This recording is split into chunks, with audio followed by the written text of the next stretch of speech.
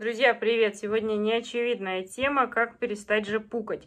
Уже давно я снимала, э, три года назад, э, видеоролик про кишечник, и сейчас сниму еще один. А, вздутие живота, возможные причины, роль рациона и простые решения. Конечно, перестать пукать можно достаточно быстро, но я расскажу, почему это происходит и как на это можно повлиять. Вздутие живота и возможные причины, плюс, э, плюс э, все, что я знаю об этом.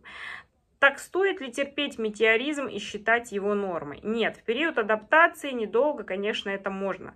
А вообще здоровый кишечник должен работать регулярно, тихо и незаметно.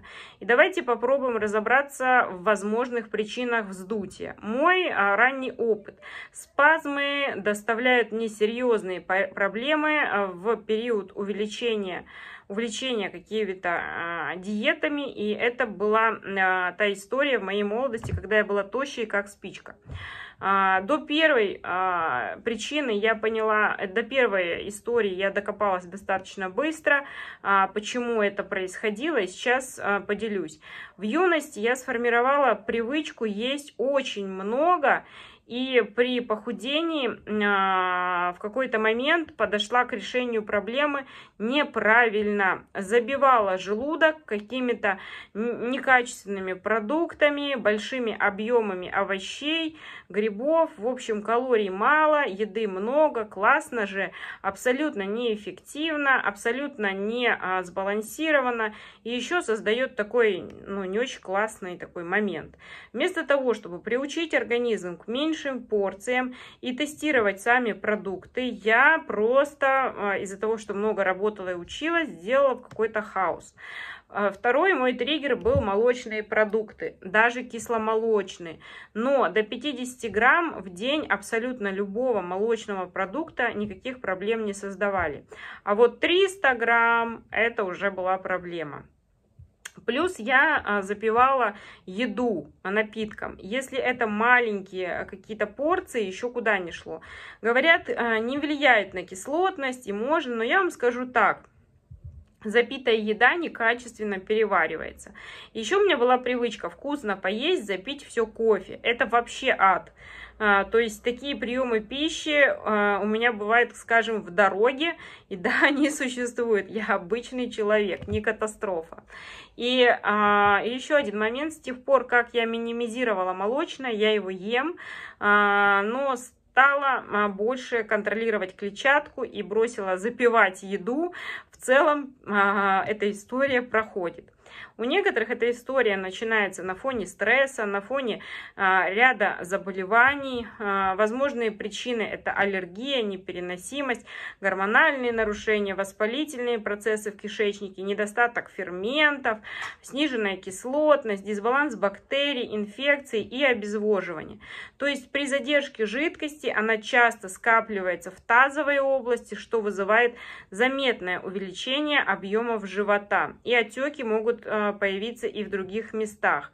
Для обезвоживания тоже характерно вздутие, и а, случается это обычно после кофе, алкоголя, а, быстрых углеводов. Важно пить много воды и не забывать о соли, восстанавливать электролитный баланс. То есть не вода чистая, чистая. Избыточный бактериальный рост. Он у меня постоянно появляется, если я там что-то а, где-то не так съем. То есть вообще это норма. Гормональные колебания. ПМС часто вызывает вздутие, нарушение пищеварения. Для этого периода вообще характерные запоры и пердеж, извините, но это все такая история. А, как на состояние а, влияют продукты? Питание может все это провоцировать и регулировать. Чтобы все было хорошо, в пищеварительном тракте не должно быть слишком много воздуха.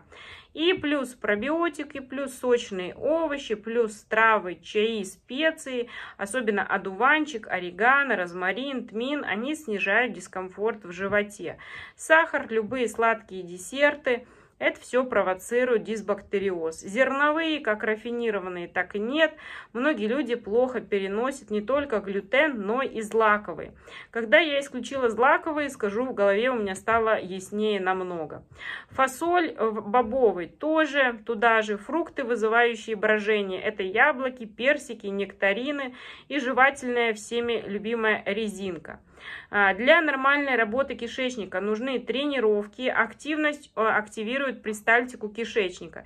И организму значительно легче поддерживать циркуляцию крови и перемещать лимфатическую жидкость по всему телу, если вы подвижны.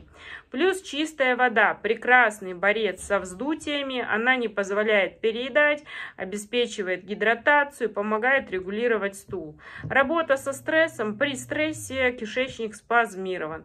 И мои личные топ-решения, конечно, это убрать сладкую газировку, а, не запивать и а, не, спе, не смешивать а, несмешиваемое. Это как а, первое, второе, третье компот сверху, а потом спазмолитик. Вот такого делать не нужно. Подписывайтесь на мой канал, пишите вопросы. Пока-пока.